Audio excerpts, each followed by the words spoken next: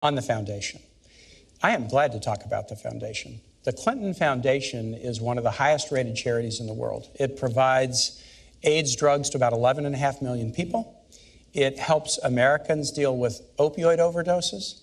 It gets higher rankings for its charity than the American Red Cross does. The Clinton Foundation does an awful lot of good work.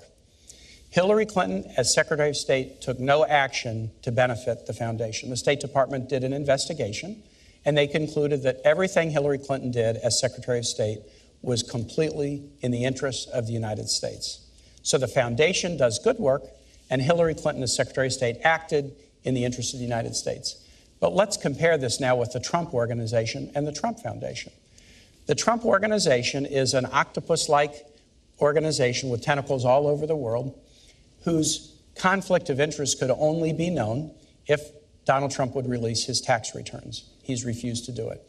His sons have said that the organization uh, has a lot of business dealings in Russia. And remember, the Trump organization is not a nonprofit. It's putting money into Donald Trump's pockets and into the pockets of his children. Whereas the Clinton Foundation is a nonprofit, and no Clinton family member draws any salary. The Trump Foundation is in, a nonprofit. In addition, Donald Trump has a foundation.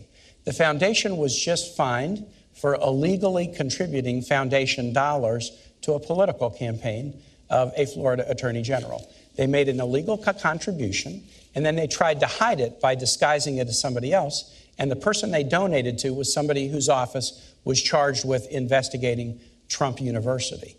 This is the difference between a foundation that does good work and a Secretary of State who acted in accord with American interests and somebody who is conflicted in doing work around the world and won't share with the American public what he's doing and what those conflicts are.